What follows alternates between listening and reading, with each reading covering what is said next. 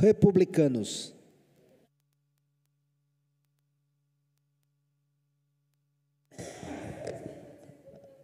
Senhora presidente, vereadores dessa Casa de Leis, público que assiste à TV Câmara neste exato momento, é com muita alegria que nós ocupamos no dia de hoje essa tribuna para falar um pouco com você, morador da cidade de Jacareí, você que tem confiado no trabalho deste vereador que está aqui, sempre lutando pela nossa cidade.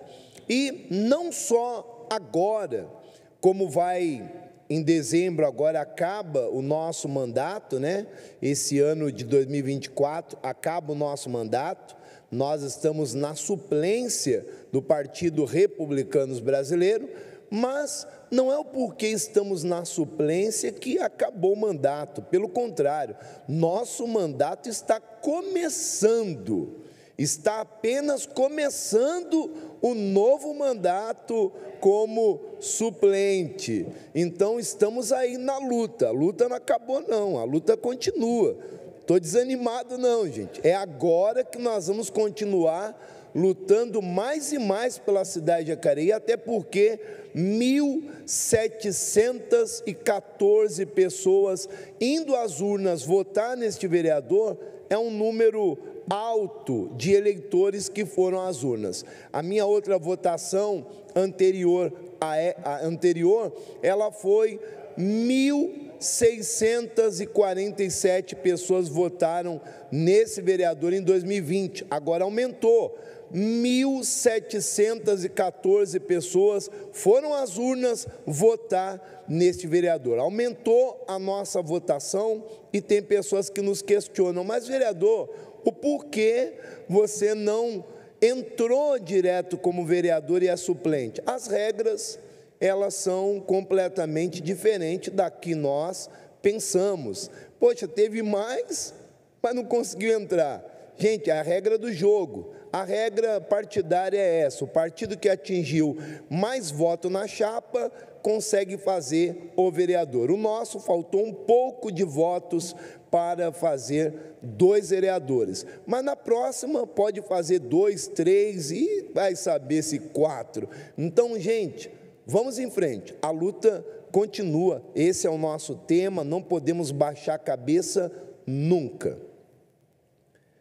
Agora eu quero falar aqui um pouco sobre o nosso trabalho.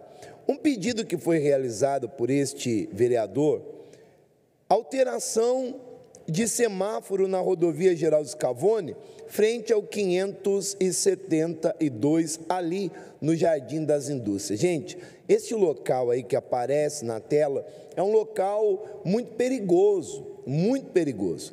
Existe um semáforo ali à esquerda, à esquerda, que Próximo o número 572, tem prejudicado muito os motoristas na, nessa rodovia geral de Scavone, até porque as pessoas não observam esse semáforo que aparece aí, ali com um círculo, né, arredondado ali vermelho.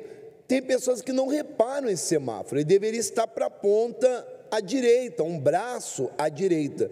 E nós já fizemos o pedido, então, para que seja é, revista essa situação, uma sinalização mais adequada nessa localidade onde tem acontecido vários acidentes. Inclusive, a Geraldo Scavone é uma via muito perigosa, né, de circulação de caminhões ali também, veículos pesados, aonde as pessoas correm risco.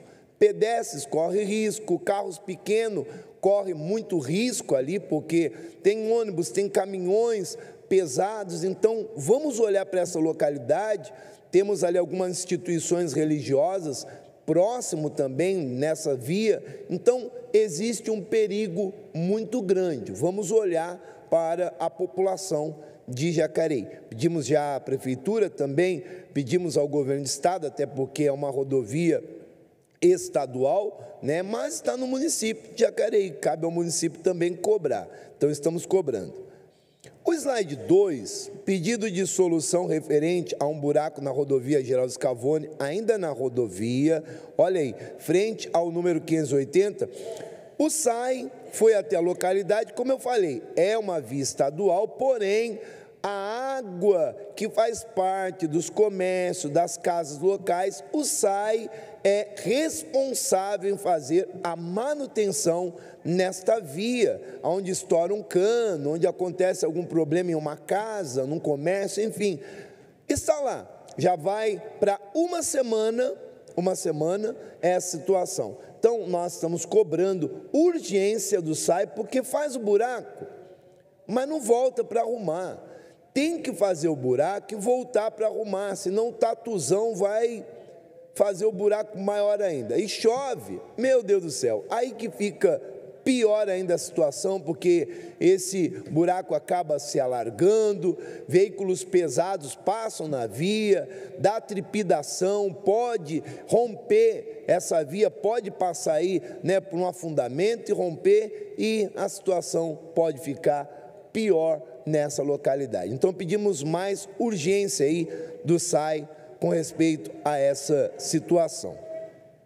O slide 3, reparo asfáltico Rua Paraitinga, frente ao 81, no Jardim São José. É como eu falei, vai, faz o corte, mas não volta para arrumar. Pedimos aí mais urgência com respeito ao trabalho de fiscalização e infraestrutura no município de Jacareí, porque os motoristas questionam, e com razão, também sou motorista, questionam com razão. Poxa, eu passo, quebro meu carro, nos buracos que tem na cidade, é vários cavaletes espalhados pela cidade. Realmente, reclamo com razão. Então, cobramos aí que possa ser resolvido essa situação. Agora, gente, eu quero é, colocar aqui um, um, daqui a pouquinho, Daqui a pouco eu vou colocar um slide. Daqui a pouquinho eu vou colocar um slide. Você que está em casa, pessoas que questionam esse vereador, é o Supremo Tribunal Federal que decidiu isso. Não é Jacareí, é o Supremo Tribunal Federal. O direito é para todos. Quero deixar aqui bem claro para depois não ser questionado também, falar, ah, mas vereador, você é contra essa população que tem o seu direito. Não, eu estou aqui como vereador, né, sendo questionado e dizendo que não haveria necessidade de ser mudado o documento de nascimento de uma criança. Tem pessoas que me questionam, não deveria mudar. Está lá pai e mãe do nascido. O documento de nascido vivo, o D, né, o documento de nascido vivo, a situação está sendo mudado por uma colocação de parturiente. É o Supremo que está decidindo isso. Eu vou mostrar para você um vídeo, para você que está em casa, os vereadores que estão aqui, que forem questionados também, eh, vereador Hernani, é o debate que está tendo. Então, é um debate que está tendo. Eu não tenho nada a ver com esse debate, mas se me questionam, eu falo. Eu não mudaria esse documento, eu acho que não há necessidade. Vamos ao slide 4 o slide número 4. Olha só. Olha aí. Ó. Supremo Tribunal ordena a inclusão do termo parturiente em declaração de nascimento do SUS. Expressão ficará ao lado da de mãe no documento. Medida foi tomada para adequar o registro à inclusão da população transexual. Então, você vê, pediram para colocar ali a palavra parturiente. Eu acho que não haveria necessidade, só ter pai e mãe, porque a criança vai perguntar: é, quem é pai, quem é a mãe? A criança vai fazer a pergunta. Vamos ao vídeo. Você que decide em casa se haveria de mudar ou não. Vamos ao vídeo, slide 5. Aliás, slide 4.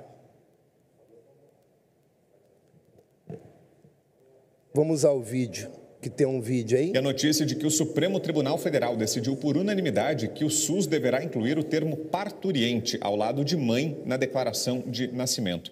Vamos ouvir a declaração do presidente do STF, Luiz Roberto Barroso. Determinar que o Ministério da Saúde proceda à atualização do layout da declaração de nascido vivo, DNV, para que dela faça constar a categoria parturiente barra mãe de preenchimento obrigatório e no lugar do campo responsável legal passe a constar o campo responsável legal barra pai. A corte acatou um pedido do PT. O partido alegou que os termos pai e mãe são discriminatórios em relação a mulheres biológicas que se identificam como homens trans no momento em que dão à luz. A mudança já havia sido adotada administrativamente pelo Ministério da Saúde e agora, com a decisão judicial, o governo fica impedido de eventualmente revogar a medida por conta própria. Calma. Mamãe, na época de mamãe, não tinha discriminação nenhuma. Na época de mamãe, era mãe e o pai, não tinha discriminação nenhuma. Mas agora é discriminação não ter lá parturiente. Então eu não entendi, mas Vamos deixar aí o Supremo que decidiu e as pessoas que me questionam, estou aqui dando a minha opinião. Na minha opinião, não precisa mudar e colocar parturiente barra mãe ou pai. Só tendo mãe da criança e o pai da criança já importa, resolveu o problema. Vamos ao meu slide, por gentileza. Slide número 5. Aparece aí os nossos contatos, né? Rogério Timóteo, é, chama o Timóteo, a luta continua, lá embaixo, hashtag. Temos aí mandato à disposição da população em nossa cidade, nos envie dicas, sugestões para o seu bairro. Eu quero que você envie para esse vereador dicas, sugestões.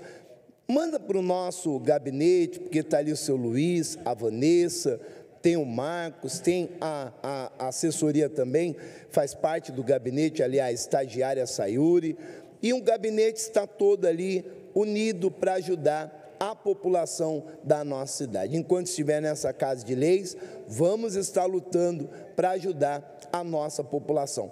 Conte com este amigo, com esse vereador que estará sempre à disposição da nossa cidade e estará fazendo valer os 1.714 votos recebidos nas urnas agora, em 2024. Um abraço a todos e a luta continua.